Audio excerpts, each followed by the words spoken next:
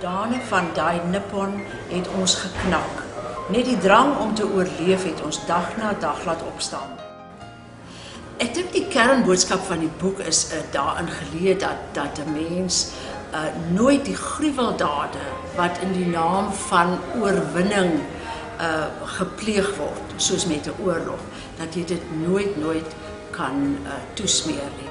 Ek hoop dat dit dat dit ook veral vir die jong mense wat waar ons nie nou op die oomblik blootgestel aan uh, soveel oorloë nie in in nie in Suid-Afrika beslis nie, ook nie in Europa nie, dat dit miskien as 'n waarskuwing kan kan wees dat 'n mens nie net uh, hals oor kop in in uh, in 'n oorlog kan ingaan nie, dat daar baie uh, konsekwensies agterna is.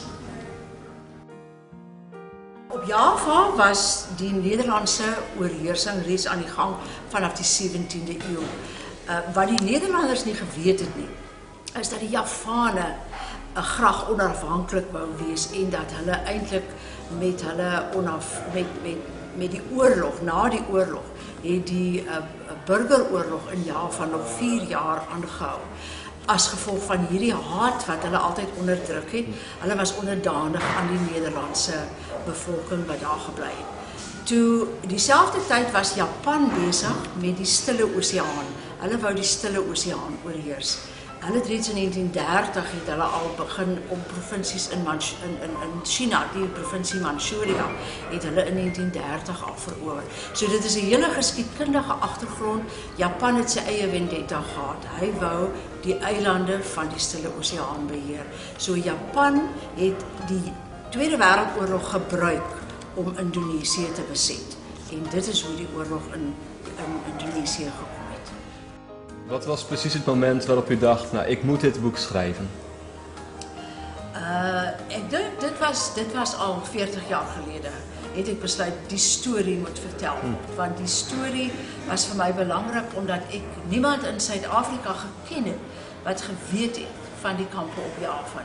Dit was 'n stukkie geskiedenis wat ons heeltemal nie van geweet het.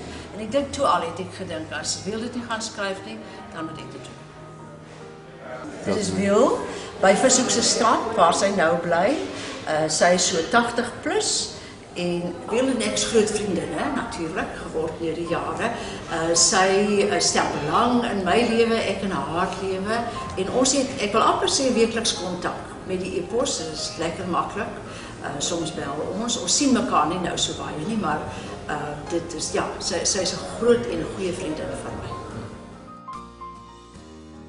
Sy het vir my haar storie vertel uh in breë trekke. Ek was baie nuuskierig en toe het sy vir my haar notas gegee wat sy geskryf het omdat haar man Paul uh selfs nadat hulle al kinders gehad het vir haar aangemoedig het om haar nagmerries neer te skryf. Sy het tog altyd nagmerries as gevolg van haar ervarings in die ekskuus in die kamp gekry. Op die oog al was Almahera 'n meer aanvaarbare woonplek as Gedangen. Ons het strate gehad om in te stap en huise om in te bly. Ons het 'n groentetuin gehad en kompos om die groente mee te bemes. 'n makabere boerderytjie wat 'n warboel grillerige lywe aan mekaar moes hou. Ons het alles met vier bene in die sop gegooi. Alles wat die kamp ingedwaal het.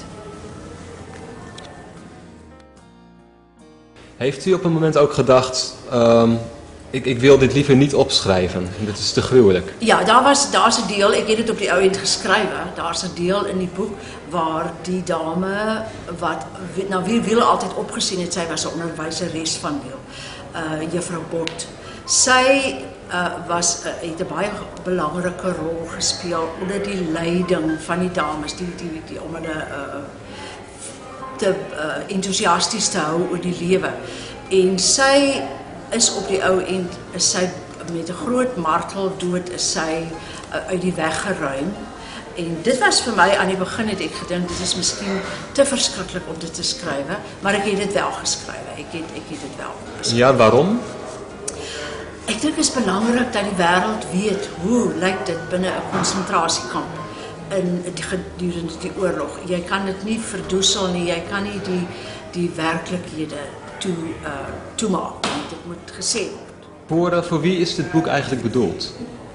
Uh, ek dink die boek is vir vir almal wat net so in die duister was oor die Tweede Wêreldoorlog soos ek was.